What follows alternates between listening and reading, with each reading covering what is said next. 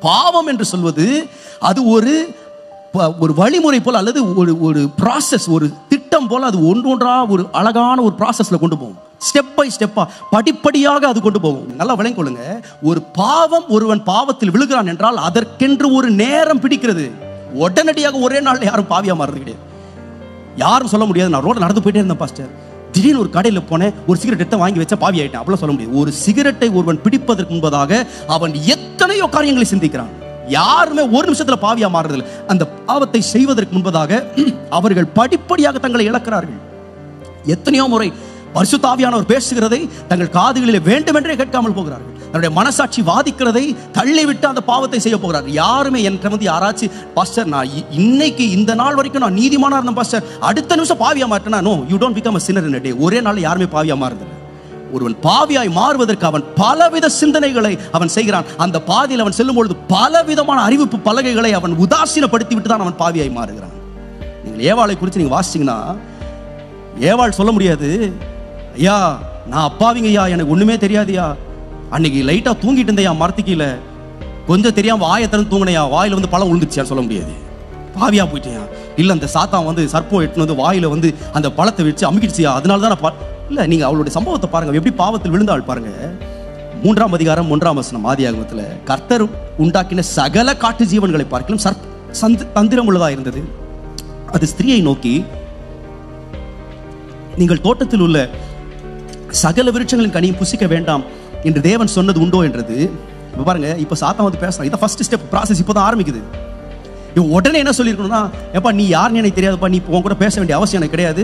எங்களுக்கு ஆர்டர் கொடுத்துருக்கிற டீடைல்ஸ் எல்லாமே ஆர்டர் எங்கள்கிட்ட பேசியிருக்காரு நீ புதுசாக எதுவும் பேச வேண்டாம்ப்பா அப்படின்னு போயிருக்கும் ஆனால் அவள் அதோடு அந்த சர்ப்பத்தோடு பேச ஆரம்பிக்கிறாள். நாங்கள் தோட்டத்தில் உள்ள விருட்சங்களின் கனிகளை புசிக்கலாம். ஆனாலும் தோட்டத்தின் நடுவில் இருக்கிற விருட்சத்தின் கனியை குறித்து தேவன் நீங்கள் சாகாதபடி இந்த டீட்டெயிலாம் தேவையில்லை. ஆண்டவர் கிளியராக சொல்லிடுற சாப்பிட வேண்டாம் அவ்வளோதான் அந்த இதை வேற அதுக்கு எதிர்மறையாக ஒன்று சொல்லும்போது அப்பா நீங்கள் சொல்கிறதெல்லாம் எங்களுக்கு வேணாம். கர்த்தர் எங்களுக்கு சொல்லியிருக்காரு போயிருக்கணும். ஆனால் போல. ஆனால் இது சர்ப் சர்ப்பம் திரும்ப பேசுது. நீங்கள் சாகவே சாவதில்லை. நீங்கள் இதை புசிக்கும் நாளிலே உங்கள் கண்கள் திறக்கப்படும். நீங்கள் நன்மை தீமை அறிந்து தேவர்களைப் போல இருப்பீர்கள் என்று தேவன் அறிவார். இவ்வளோ பேச்சுக்கு அவள் இடத்தை கொடுத்தாள். உடனடியாக பாவம் உள்ள வரல. உடனடியாக அவள் எடுத்து இந்த பழத்தை எடுத்து சாப்பிடல. சத்ரு காமிச்ச உடனே எடுத்து சாப்பிடல. இவ்வளோ ப்ராசஸ்க்கு அப்புறமா கடைசியா பாருங்க ரொம்ப அழகா இருக்கு. ஆறாவது வசனத்துல அப்பொழுது ஸ்திரீயானவள் இவ்வளத்தையும் கேட்டுட்டு அப்பொழுது அந்த ஸ்திரீயானவள் அந்த விருட்சம் புசிப்புக்கு நல்லதும் பார்வைக்கு இன்பமும் புத்தியை தெளிவிக்கிறதற்கு இச்சிக்கப்படத்தக்க விருட்சமா இருக்கிறது என்று கண்டு இவ்வளோ டிக் மார்க் போட்டாவ அந்த பழத்தை வந்து பார்த்த உடனே வாயில வைக்கல. இந்த பழம் எப்படி இருக்குன்னா விருட்சம் புசிப்புக்கு நல்லதா இருக்கு. ஆ டிக் மார்க் போட்டுடலாம். பார்வைக்கு இன்பமா இருக்கா? அதுக்கு ஒரு டிக் மார்க் போட்டுடலாம். புத்தியை தெளிவிக்கிறதுக்கு இருக்கா? இ- இச்சிக்கப்படுறதுக்கு இருக்கா? எல்லாத்தையும் டிக் போட்டு இவ்வளோத்தையும் யோசிச்சுட்டு தான் பழத்தை எடுத்தார். ஸோ ஒரு பாவம் அப்படின்னு சொல்றது வந்து it is a process it is not a product நம்முடைய பாவம் ஒரு ஒரு மனுஷனுடைய வாழ்க்கையில் அவன் பாவம் செய்கிறான் என்றால் அவன் அவ்வளவு சிந்திக்கிறான். அதை செய்வதற்கு முன்பதாக அவன் எத்தனையோ போராட்டங்களை தாண்டி தான் எத்தனையோ காரியங்களை அவன் அவமதித்து தேவன் தன்னுடைய வாழ்க்கையில் வைத்திருக்கிற இத்தனை அறிவிப்பு பலகைகளையும் தேவன் சொல்லுகிற இத்தனை வார்த்தைகளையும் எத்தனையோ செய்திகளையும் கேட்டு அதை உதாசீனப்படுத்தி தான் ஒரு பாவத்துக்குள்ள போறான். காயினை எடுத்து பாருங்கள். அவன் கொலை செய்தான். ஆனா அவன் கொலை செய்யறதுக்கு முன்பதாக நீங்க வேதத்துல அந்த ப்ராசஸை கொஞ்சம் படிச்சு பாருங்க எப்படி அவன் நடந்தான்? அந்த கொலை செய்வதற்கு முன்பதாக அவன் சென்ற வழி தடங்களை கொஞ்சம் பாருங்க. நாலாம் அதிகாரம் ஐந்தாம் வசனத்துல வேதம் சொல்லுது காயினையும் அவன் காணிக்கையும் அவர் நிராகரி அங்கீகரிக்கவில்லை. இப்போ வந்து வேதம் சொல்லுது இவன் இங்க உட்காந்து பலி செலுத்தினா ஆபேல் அங்க பலி செலுத்துறாரு. ஆபேலுடைய காணிக்கை அங்கீகரிக்கப்பட்டு விட்டது. வேதம் சொல்லல ஆபேலுடைய காணிக்கை அங்கீகரிக்கப்பட்டவுடன் காயினுக்கு ரொம்ப கோவம் வந்து ஒரு கல் எடுத்து ஒரே போடு போட்டான். இல்ல உடனே எல்லாம் சொல்லல. நீங்க பாத்தீங்கன்னா he is taken through a ஒரு வழித்தடத்தில் அவன் கொண்டு செல்லப்படுகிறான். இப்போ அங்கீகரிக்கப்படவில்லை என்று முதலாவது வந்தது என்ன தெரியுமா? கொலை வரல. முதலாவது வந்து என்ன தெரியுமா? காயினுக்கு மிகவும் எரிச்சல் உண்டாய் ஃபர்ஸ்ட் என்ன வந்துச்சுன்னா ஜெலசி ஒரு எரிச்சல் தன் சகோதரனுக்கு மேலாக ஒரு எரிச்சல். அந்த எரிச்சல் அவன் கண்ட்ரோல் பண்ணாம அந்த எரிச்சலை தாண்டாம பாருங்களேன். எரிச்சலோட போகும்போது அடுத்தது என்னாச்சுன்னா உள்ள இருந்து எரிச்சல் வெளியே தெரிய ஆரம்பிச்சு அவன் முகநாடி வேறுபட்டது. எரிச்சல் உண்டாகி முகநாடி வேறுபட்டது. பாருங்க இப்ப ஆண்டு நல்லா தெரியும். இவன் அந்த ப்ராசஸ்க்குள்ள வந்துட்டான். இவன் பாவம் செய்கிறது இந்த வழியில வந்துட்டார் சொல்றாரு ஆண்டவர் அப்பொழுது கர்த்தர் காயினை நோக்கி உனக்கு ஏன் எரிச்சல் உண்டாயிட்டு இப்ப ஆண்டவர் பேசுறேன் ஆண்டு யாரும் நல்லா தெரியும். ஏற்கனவே அந்த பாதியில் வந்துட்டான். இந்த ப்ராசஸ்க்குள்ள வரான். இவன் பாவம் செய்ய போறான். உடனே ஆண்டவர் என்ன பே- உனக்கு ஏன் எரிச்சல் உண்டாகும் உன் முகநாடி ஏன் வேறுபட்டது? இப்ப ஆண்டு சொல்ற நீ நன்மை செய்தால் மேன்மையில் இப்ப ஆண்டு பாருங்க எவ்வளவு இறக்கம் உள்ளவர் பாருங்க. அதனால தான் நான் சொல்லுவேன் யாருமே வந்து சொல்ல முடியாது. என் கூட ஆண்டு பேசவே இல்லைங்க. என் மனசாட்சி என்னை வாதிக்கவே இல்லைங்க. நான் நினைச்சுக்கிட்டே இருந்தேன் நான் போயிட்டே இருந்தேன் திடீர்னு பாவம் செஞ்சுட்டேங்க. இல்ல நீ பாவம் செய்வதற்கு முன்பதாக எத்தனையோ வார்த்தைகளை ஆண்டு பேசியிருப்பேன் உன் மனசாட்சியின் மூலம் ஆண்டு பேசியிருப்பார். பரிசு தாவியான உன் இருதயத்தை பாதிச்சிருப்பார் உங்களுக்கு சமாதானத்தை கெடுத்திருப்பார். அந்த காரியத்தை நீங்கள் கையில எடுப்பதற்கு முன்பதாக அந்த பாவத்தை செய்வதற்கு முன்பதாக நீ கொஞ்சம் யோசிச்சு பார்த்தீங்கன்னா முதல் முறையாக ஒருவன் பாவம் செய்வதற்கு அவன் எவ்வளவு போராடி இருப்பான். எப்படி பரிசுத்தத்துக்காக ஒருத்தன் போராடுறானோ அதே போல ஒரு பாவத்தை செய்வதற்கு கூட ஒருத்தன் போராடிட்டு தான் செய்ய முடியும். ஏன்னா பரிசு தாவியானவர் யார் தெரியுமா? பாவத்தை குறித்தும் நீதியை குறித்தும் ஒருவனை கண்டித்து உணர்த்துகிற ஆவியானவர். ஒரு கிறிஸ்தவன் ஒரு பாவம் செய்யறானா பரிசு தாவியான வந்து சும்மா விட மாட்டாரு. அவன் செய்யறதுக்கு முன்பதாக போராடுவார் ஆண்டவர். டேய் செய்யாதப்பா நீ. டோன்ட் கோ திஸ் வே எத்தனையோ அறிவிப்பு பலகைகளை ஆண்டவர் தாண்ட செய்கிறார். நீ அந்த பாதையில் போகும்பொழுது அந்த லெஃப்ட் தேவையில்லாத ஒரு லெஃப்ட் எடுக்கும்போது ஆண்டு இருதயத்தில் பேசுறாரு வேண்டாம். இதனுடைய விலை பெரிய விலை. டோன்ட் கோ தட் வே இந்த வழியில் போகாத யூட்டான் எடுப்பா ஆனா அதை எல்லாம் ஒருத்தன் போராடிட்டு ஒருத்தன் போறான் பாருங்களேன். அதுதான் ப்ராசஸ் இப்போ காயின் பாருங்க ஆண்டு இவ்வளோ பேசுறாரு. நேரடியாக வந்து பேசுறாரு காயின் வேணாம்ப்பா. ஏன் நீ முகநாடி வேறுபடுது? ஏன் இப்படி கோபமா இருக்கிற? ஆண்டு சொல்ல நீ நன்மை செய்த உனக்கு மேன்மை இருக்காதா? என்ன சொல்ல வந்தாருன்னா இந்த முறை ஆபியலை நான் அங்கீகரித்தேன். ஏன்னா அவன் நன்மை செஞ்சான். நீ அடுத்த முறை நீ நன்மை செய்ப்பா. நீ நன்மையானதை செஞ்சா நான் உனக்கு மேன்மை தரேன்ப்பா. ஆனா இவ்வளோத்தையும் கேட்டுட்டு வேதம் சொல்லுது காயின் தன் சகோதரனாகி ஆபேலோட பேசினான். என்ன பேசினான்? அன்பா பேசுறது போல நயவஞ்சகமா பேசினான். சகோதரன் கிட்ட ரொம்ப பாசமா பேசுற மாதிரி வாடா தனியா போய் பேசலாம்டா வயல்வெளியில போய் பேசலாம்டா. அவன் ஏதோ ஒன்ன பேசி அவனை கன்வின்ஸ் பண்ணி கூட்டிட்டு போய் கடைசியில வேதம் சொல்லுது அவன் வயல்வெளியில் இருக்கும் சமயத்தில் காயின் தன் சகோதரனை ஆபேலுக்கு விரோதமாக எழும்பி அவனை கொலை செய்தான். இந்த கொலை நடக்கிறதுக்கு முன்னாடி அவன் எத்தனையோ முறை ஆண்டவருடைய வார்த்தையும் ஆண்டவருடைய வழிகளையும் அவன் தள்ளி விட்டு தான் சென்றான். இங்க நிறைய பேருடைய வாழ்க்கையில கர்த்தர் தங்களுடைய வாழ்க்கையில ஆண்டர் கொடுக்கிற அறிகுறிகளையும் கர்த்தர் தங்களுக்கு கொடுக்கிற ஆலோசனைகளையும் ஏன் கேட்க முடியலன்னு சொன்னா தேவன் நமக்கு வைத்திருக்கிற வேகத்தை விட அதிகமான வேகத்தில் போயிட்டு இருக்கும் அறிகுறிகளை கண்களுக்கு தெரியாத அளவு கண்முடித்தனமாக வாழ்க்கையில போகும்பொழுது ஆண்டர் வைத்திருக்கிற அறிகுறிகளே தெரியாது. வி மிஸ் த சயின்ஸ் ரெண்டாவது எப்படி மிஸ் பண்ணுவோம்னா we were blinded by distractions ஏன் வந்து சில அறிகுறிகள் நம்ம கண்களுக்கு தெரிவதில்லை அப்படின்னு சொன்னா வேற ஏதோ ஒரு காரியத்தில் நம்ம கண்ணோட்டமா இருக்கும் இன்னைக்கு நிறைய பேருடைய வாழ்க்கையில தங்களுடைய வாழ்க்கையிலே யாரோ சொன்ன வார்த்தைகள் தங்களுடைய வாழ்க்கையின் பிரச்சனைகள் தங்களுடைய வாழ்க்கையின் சூழ்நிலைகளில் நீங்கள் அதிகமாய் கவனம் செலுத்தும் பொழுது விசுவாசத்தை துவக்கிறோமாய் முடிக்கிறோமாய் அவர் மேல் நீங்க கண்களை வைக்காட்டி அவர் சொல்ற எந்த அறிகுறியுமே தெரியாது. இன்னைக்கு ஏன் ஆண்டோட அறிகுறி நம்மளுக்கு தெரியல நம்ம வேற எங்கேயோ நம்ம ஹேண்டில் பண்ணிட்டு வேற எங்கேயோ பார்த்துட்டு இருக்கோம்.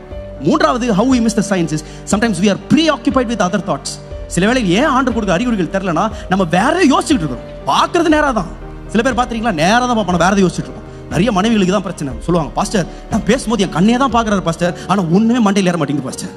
ஏன்னா அவருக்கு வேற என்ன ஓடிட்டு இன்னைக்கு அநேக வேளையில ஆண்டவர் ஏதோ பேசிட்டு இருக்கும்போது நம்ம மனசில் வேற ஏதோ ஓடிட்டு இருக்கு.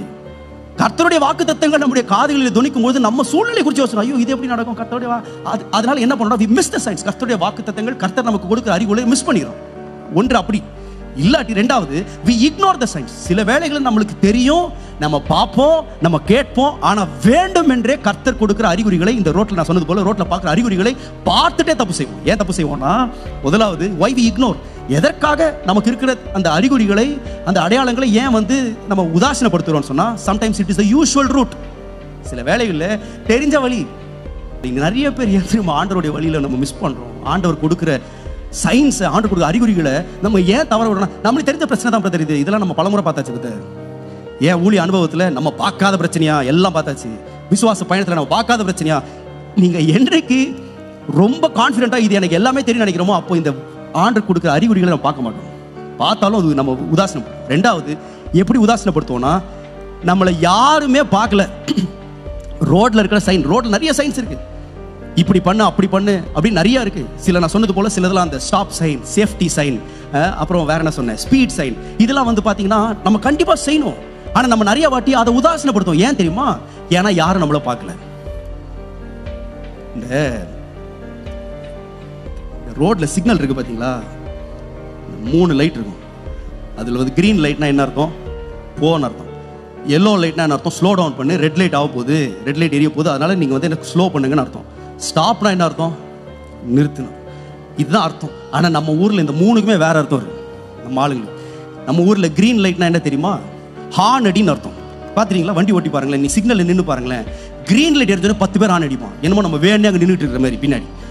இதில் என்ன வேடிக்கைன்னா நம்ம ஆளுங்களுக்கு இந்த ஹார்ன் அடித்து பழகி பழகி பழகி சில ஆளுங்க பார்த்தீங்கன்னா அவன் தான் ஃபர்ஸ்ட் ஆளாக இருப்பான்.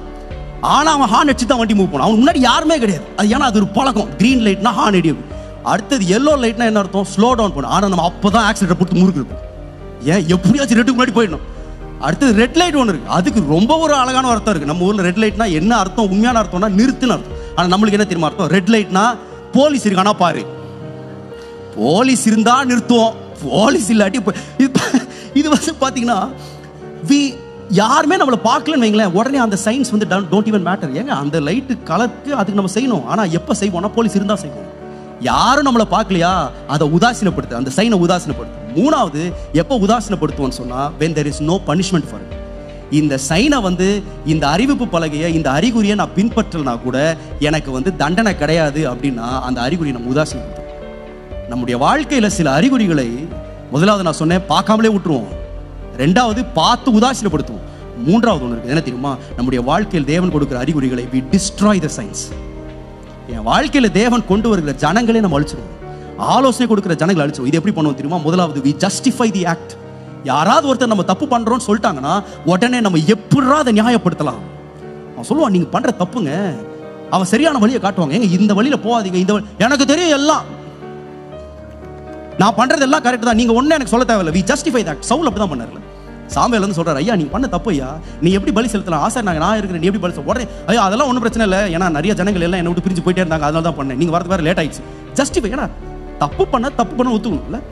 ஹி டிஸ்ட்ராய்ட் த சைன் நீங்க ஒன்றும் எனக்கு சொல்ல தேவையில்லை. ரெண்டாவது பார்த்தீங்கன்னா வி ரிஜெக்ட் கவுன்சில் ஆலோசனை சொல்லுகிறதை நம்ம உடனே நிராகரிப்போம். வி ரிஜெக்ட் த கவுன்சில் யார் சொன்னாலும் சரி அவங்கள மதிக்கிறதே கிடையாது. அதுக்கு அவங்க நம்ம மனசார நம்ம யோசிச்சுப்போம் நம்ம வந்து இவங்க முன்னாடி நம்ம திருப்பி வரவே கூடாது.